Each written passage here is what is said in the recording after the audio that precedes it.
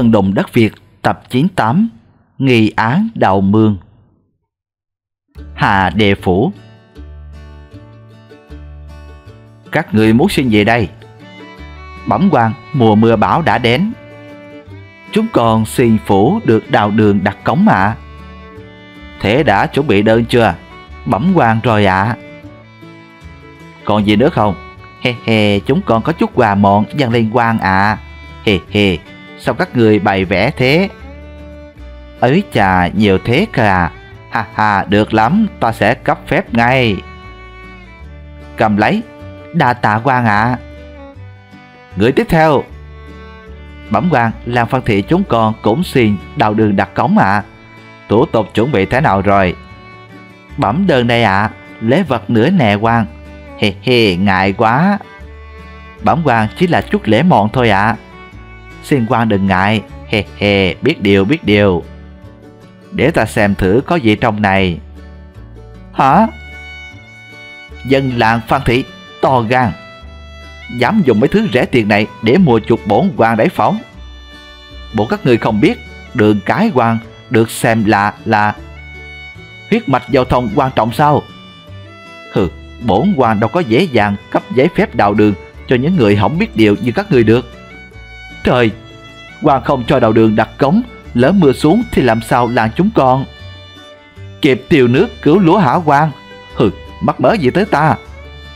Không lẽ quan mặc kệ cho làng còn chết đói sao quan? Xin quan suy xét lại ạ. À. Người mới phải suy xét lại thì có Mấy thứ vớ vẩn này mà cũng gọi là lễ vật sao Thiệt là coi thường bổn quan hết sức Mau biến đi cho khuất mắt ta Đem về mà ăn này. Bèo Xoẹt đùng đùng. Đại nhân ơi, nguy rồi nguy rồi. Có chuyện gì? Bấm đại nhân, mưa to suốt đêm qua. Đến bây giờ vẫn chưa ngớt hạt. Thì sao hả? Toàn bộ ruộng lúa và hoa màu trong vùng Đều bị ngập lụt cả rồi ạ. À. Thật sao? Ha ha, Vận may đến với ta rồi. Bẩm đại nhân, nếu ngập lụt là chết đói cả đám, Sao người lại nói là may ạ? À? Đồ ngu! Ruộng vườn bị ngập thì bọn dân làng sẽ làm gì? Bẩm đương nhiên là phải chống ngập rồi ạ. À. Muốn chống ngập thì phải làm gì? Thì phải đào đường đặt cống thoát nước. Thế ai cho phép đào đường? Dạ dạ là đại nhân đây ạ. À. Hi hi, con hiểu rồi đại nhân. Muốn được giấy phép thì phải có. Hi hi, chút tiền hối lộ phải không quan Đấy nè, Nói hối lộ là không đúng đâu nhé. Ấy chết, con nhớ mồm, Gọi là chút bạc bồi dưỡng thôi quan nhỉ Hè hè, đúng, nói rất đúng. Nguy rồi, mau ra đồng cứu lúa các bác ơi. Chật mưa như vậy Tiều lúa hết còn gì? Mỗi người một gầu, Nhanh tay tắt nước cứu lúa bà con ơi. Ào ào Phục trời.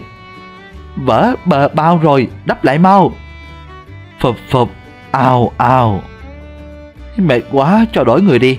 Học học cho tôi nghỉ chút được không? Mười mỗi lúc một to. Chống ngập thế này rõ ràng không phải là cách. Nói rất đúng. Hả? Ai nói vậy? Hì hì quan đầy chứ ai? Chúng còn kính chào quan hà đề sứ ạ. À. Hừm Lấy gầu mà tác thế kia thì bao giờ mới hết ngập hử?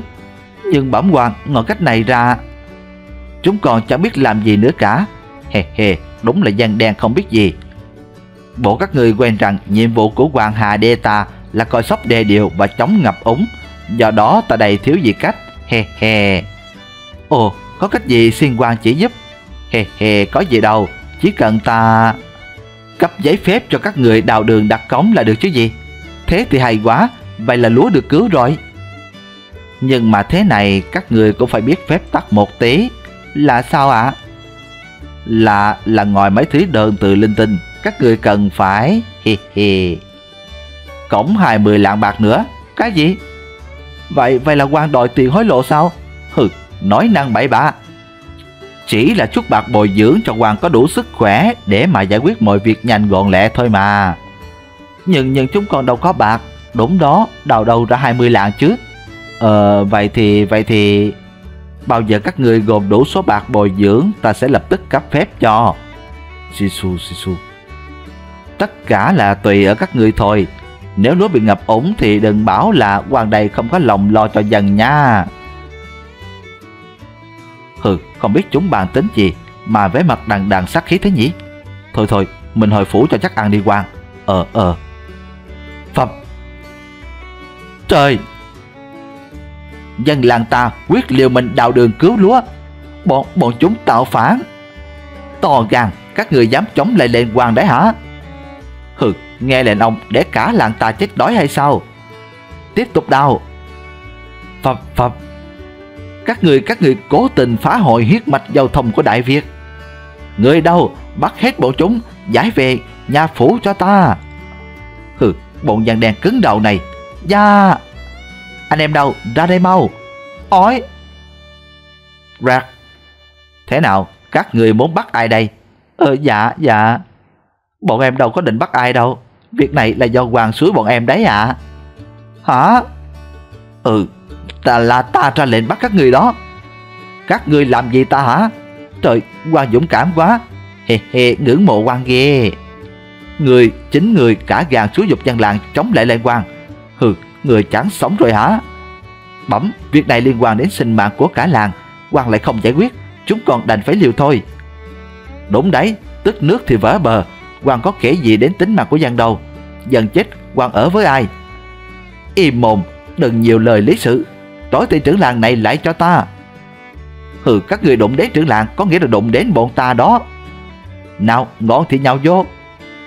Trời, tính sao đây quan Các người sợ gì chứ? Có quan đây kia mà. Được, Đấy là quan ép dân làng đấy nhé. Xông lên anh em. Dạ tiến lên. Bộp bộp, binh. Bắt tiền hoàng không biết điều này, Quẳng xuống ruộng đi. Ói ói, thả ta ra. À Trời, kéo quan lên mau. Quan ơi quan chết chưa quan Chúng ta tiếp tục đào đường cứu lúa thôi các bác, Kéo không còn kịp nữa. Ào ào. Ồ Hoan hô lúa được cứu rồi, Làng ta sống rồi. Kinh đô Đại Việt phủ tràng nguyên. Cái gì? Dân làng Phan Thị tạo phản. Phải, tao nghe Nam Thiện Vương nói thế. Vô lý, Dân làng mình xưa này vốn hiền lành chắc phát Nhất nhất tuân theo lệnh của triều đình, Làm gì có chuyện mưu đồ tạo phản. Liệu có lầm lẫn không? Tao cũng không rõ, Nhưng sự việc nghe như có vẻ rất nghiêm trọng. Đúng đấy, nghiêm trọng lắm. Tụi mày nói thế là có ý gì? Sự việc đã đến tai hoàng tượng, Người đã ra lệnh cho thống soái. Dẫn đại binh về làng, Bắt người sát tội đấy. Trời! Huy động tới đại binh, Vậy là có chuyện lớn rồi. Không được, Chúng mình phải vào cùng ngày, Xin hoàng thượng cho tí đích thân trà xét vụ này. Để tìm hiểu thực hư thế nào? Phải đấy, Vậy thì phải đi ngay cho kịp. Hừ, Đúng là suối quẩy mà. Đã không sờ mối được gì từ bọn dân làng Phan Thị, Lại còn đánh rời mất cái túi có 50 hào nữa chứ. He he, đại nhân uống chút nước cho hạ hỏa đi à. Đại nhân cứ yên chí, Tiểu nhân đã gửi công hàm khẩn đến triều đình, Chắc chắn hoàng thượng sẽ cho quân về, Bắt hết bọn dân đen hỗn láo đó ngày ấy mà. Ừ làm tốt lắm. Đến rồi quan ơi, đến rồi. Sao hả? Quân triều đình đến rồi sao? Dạ không phải quân triều đình, Mà là dân làng Phan Thị. Hả? Chúng đến đây làm gì? Bẩm quan họ nói có nhặt được túi bạc ngồi ruộng. Nghĩ là của quan đánh rời, Nên họ mang đến trả lại ạ. À. Túi bạc? Sushi hay hay lắm. Cơ hội trả thù đến rồi đây. Cho chúng vào. Dạ cho vào. Chúng còn kính chào quan ạ. Ừ khỏi cần chào.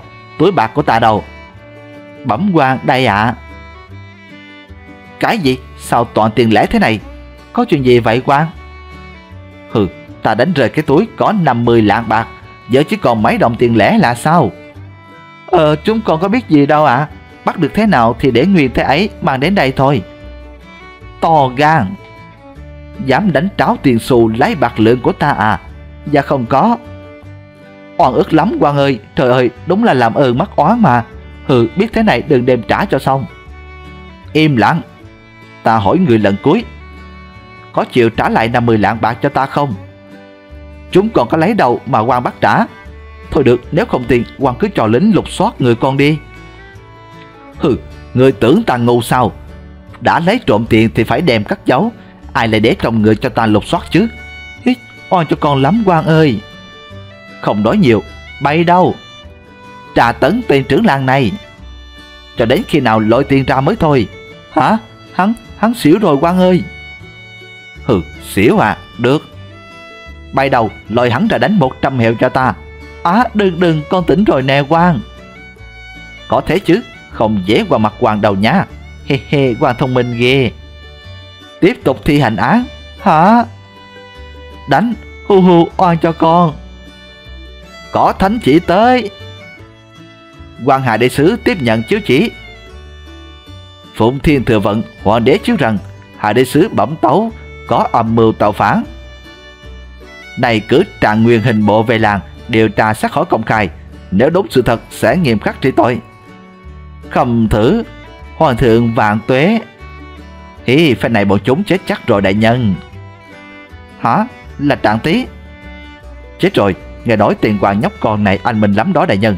Đừng lo Ta nghĩ hắn không có kinh nghiệm xử án đâu. Người đâu? Bắt quân phản loạn Trói lại cho ta. Hả? Là ai vậy? Ói ói sao lại bắt tôi? Trưởng làng Phan Thị ngay đây quan Hà Đê trình tấu Ông đã cầm đầu dân làng Phan Thị Lén lút đạo chiến hào Làm căn cứ nổi loạn. Có nhận tội không? Hả? Trời ơi lão có đầu chiến hào gì đâu? Nè ngươi đừng có chói nha. Lão Lão thừa nhận có đào Hả? Nhưng chỉ đào đường để tháo nước cứu lúa thôi mà. À, ra là thế.